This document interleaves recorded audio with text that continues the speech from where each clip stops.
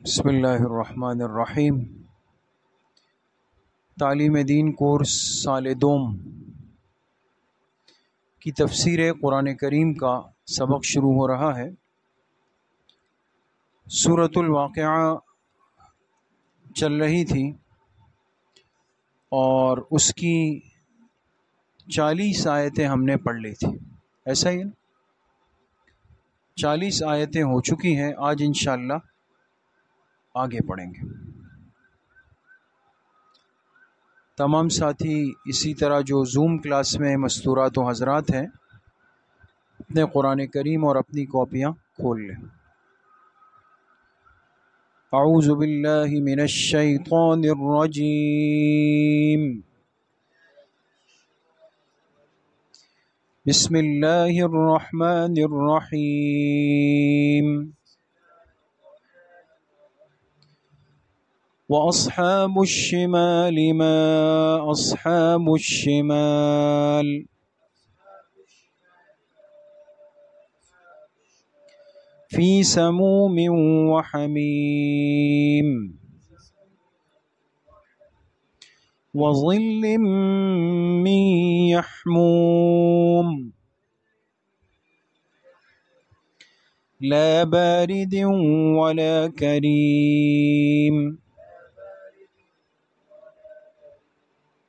सदक़ल्लाज़ीम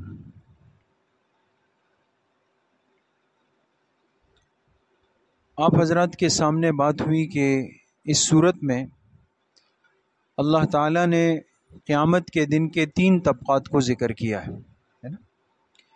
एक ख़वास मोमिन फिर आवाम मोमिन और फिर कुफ़ार को। ख़वास मोमिन पर क्या इनाम होगा वो ज़िक्र हो गया।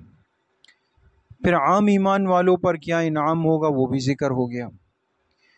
जो आज की आयत नंबर इकतालीस है, यहाँ से जो मुनकरीन है, यानि कुफ़ार है, उनका जो अंजाम होना है आखिरत के दिन, वो अल्लाह पाक ने ज़िक्र फरमाया। समझ गए? तो तर्जुमे से पहले ये बात लिख लें, फ़ायदे के उनवान से। आयत नंबर इकतालीस। यहाँ से यहाँ से कुफ़ार मुनकरीन के, यहाँ से कुफ़ार मुनकरीन के क़्यामत के अंजाम का तस्करा है।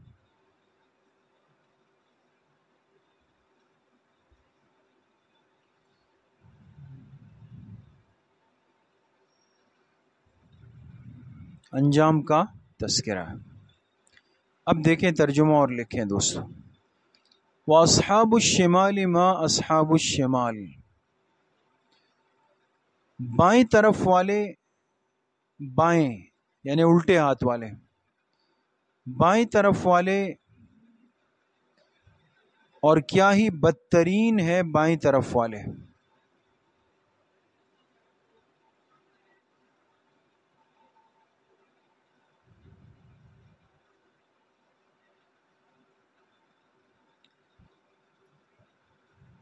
फ़ी समूम व हमीम फ़ी समूम लू जानते हैं दोस्तों? लू। गरम हवा, शाबाश। ये जो गरम हवा नहीं चलती, कहते हैं लू चल रही है। सुना है कभी? उसको समूम कहते हैं। फ़ी समूम व हमीम। ये लू में और गर्म खोलते हुए पानी में होंगे। लू में और गर्म खोलते हुए पानी में होंगे।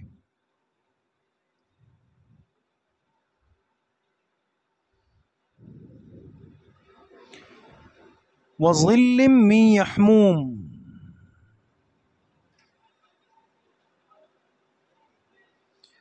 और सियाह धुएँ के साय में होंगे।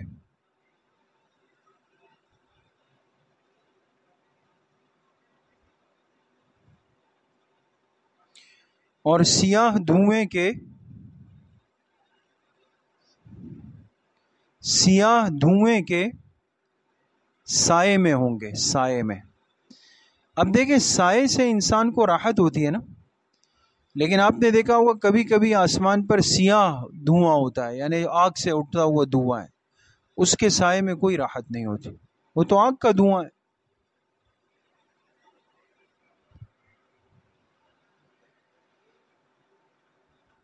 समझ गए?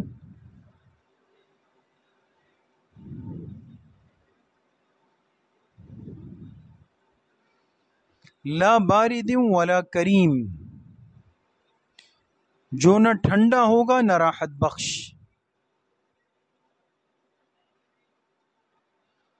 जो न ठंडा होगा और न न न राहत बख्श।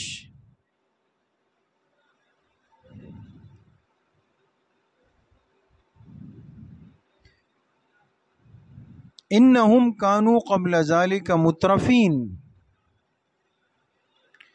बेशक ये लोग इससे पहले इतराने वाले थे। बेशक ये लोग इससे पहले, ब्रैकेट में लिखे यानी दुनिया में, बेशक ये लोग इससे पहले, यानी दुनिया में, ये ब्रैकेट में आएगा। क्या करने वाले थे? इतराने वाले। इतराना जानते हैं ना? हमारे यहाँ कहते हैं शो मारना। मकसद ऐसे ही बिला वजह की अपने आप की अकड़ती इनमें, जैसे हम कुछ हैं। वकानू युसरून अलहिंसिल अजीम। और ये और ये इसरार करते थे, इसरार स्वाद के साथ। इसरार के माने डटे रहना, जमे रहना। और ये इसरार करते थे बड़े गुनाह पर।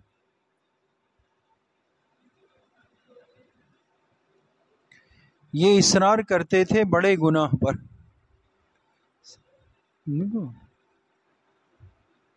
बड़े गुनाह पर। ब्रैकेट में लिखे यानी शिरक। वकानू यकूलूना। और ये कहा करते थे? और ये कहा करते थे?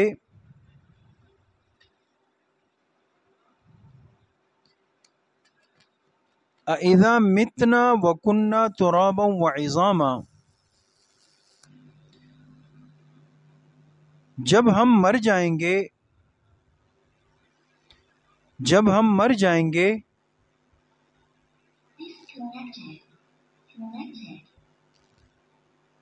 जब हम मर जाएँगे व इज़ामा निकाल और हो जाएँगे मिट्टी और हड्डी। और हो जाएँगे और हो जाएँगे मिट्टी और मिट्टी और हड्डी। अन्ना लमबूसून तो क्या हम दोबारा उठाए जाएँगे?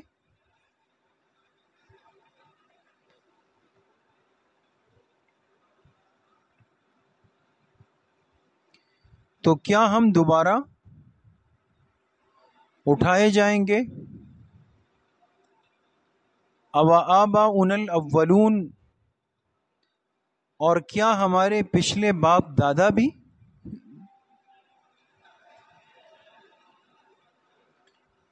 और क्या हमारे पिछले पिछले बाप दादा भी?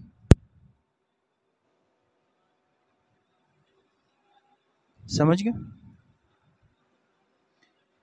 कुल इन्नल अव्वलीन वल आखिरीन।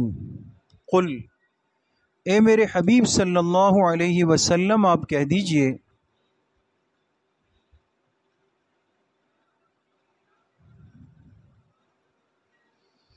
ए मेरे हबीब सल्लल्लाहु अलैहि वसल्लम, आप कह दीजिए, इन्नल अव्वलीन वल आखिरीन लमजमून बेशक अगले भी और पिछले भी। बेशक अगले भी।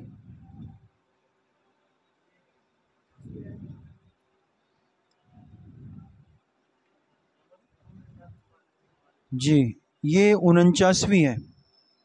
कह दीजिए कि बेशक अगले भी और पिछले भी, ये उनचासवीं आयत है। अगले भी और पिछले भी। लमजमुना ये अब अगली आयत है। सब के सब जमा किए जाएँगे।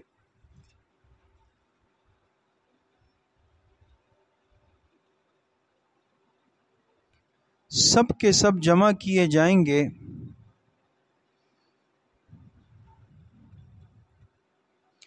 इला मीक़ाती यौम मालूम, एक मालूम दिन के वक्त मुकर्र पर।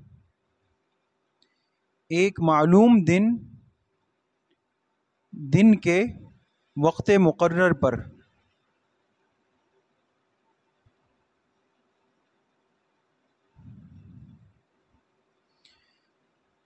तुम इन्नकुम अयुहज़ालूनमकद्दिबून फिर बेशक तुम सब के सब ए गुमराह हो और जुटलाने वालों, फिर बेशक तुम सब के सब, तुम सब के सब एक गुमराह हो अयुहज़ालून ए गुमराह हो और जुटलाने वालों।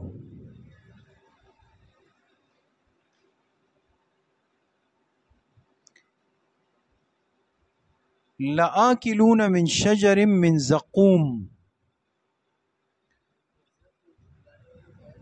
जी ज़रूर खाओगे जक़ूम के दरख्त में से ज़रूर खाओगे किसमें से जक़ूम जक़ूम के साथ लिखे थोहर लगत में इसका तर्जुमा लिखा है थोहर ता दो चश्मी हा वाओ, थो और हर हारा थोहर ये एक नहायत कड़वा दरख्त होता है। थोहर जी, थो हर। जक़ूम यानी थोहर के दरख्त में से।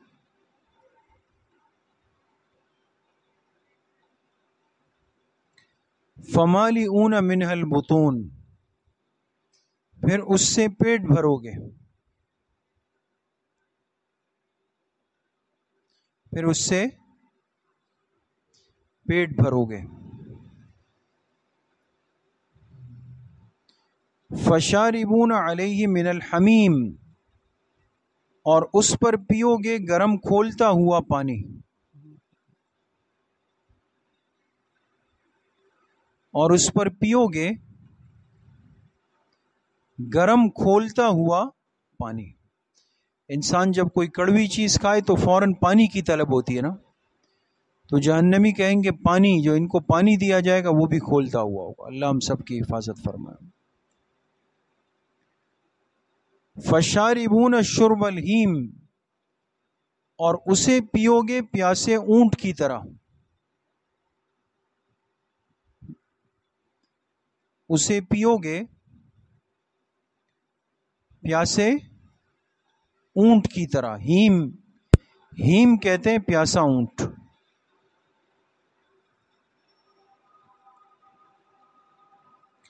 हाजा नुजुलहुम यौमद्दीन।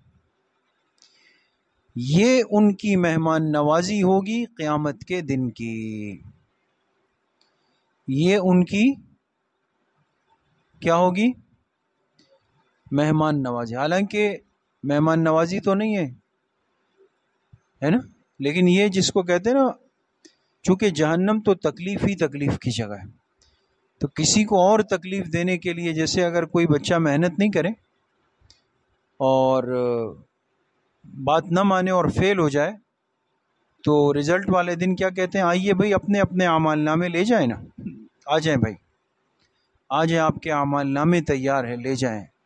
बड़े बड़े इनाम बड़े बड़े आप लोगों ने अंडे लिए हैं, वो कबूल फरमा ले आप समझ